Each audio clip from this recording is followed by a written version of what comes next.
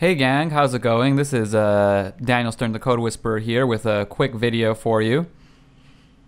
In this video, we're going to learn about turning JavaScript strings into numbers. All right, so let's take a JavaScript string that's a bunch of numbers. I'll just look at it.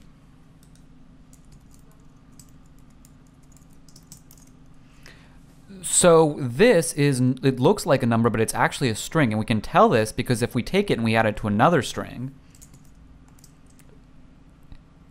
if we take it and add it to a different number, that is,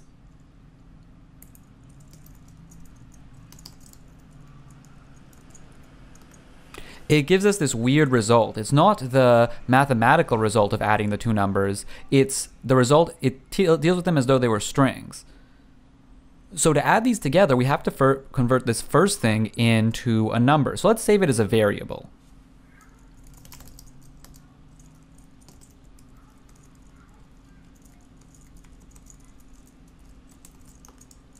Now it would be cool if we could just say a dot to number and turn into a number, but there is no to number method, and I'll explain why. Basically, it's not really clear sometimes how a string should be converted to a number. For example, let's make a different string.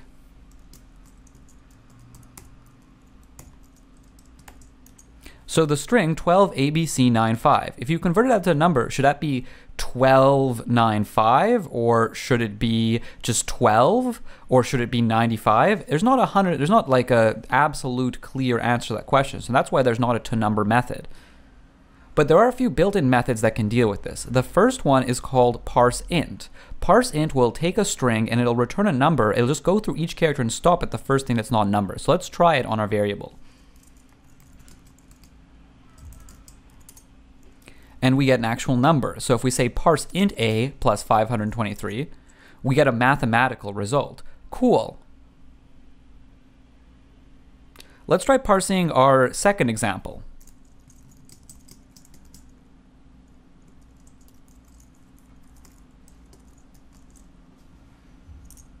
So it just returns 12, and that's our first key. Parse int stops at the first thing that is not a number. Now let's take another example. I'll make another variable, and I'll make it equal to 155.12.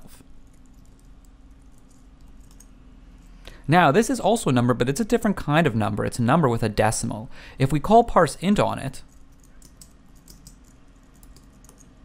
it just returns 155. That's kind of weird, but it makes sense because parse int stops on the first thing that's not a number. There's another function called parse float. And if we pass it our variable c, it returns the whole thing because it stops on the first decimal. Let's make another thing with two decimals.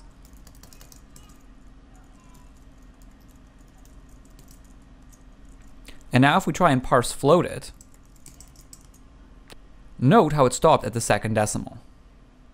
So that's kind of the key to it. You got your two things, parse float and parse int, and with them you can take any string and quickly convert it to a number. Remember these tricky rules of converting strings into numbers and note that there is no one way to do so. I've been the Code Whisperer, have a cody day, and keep on coding.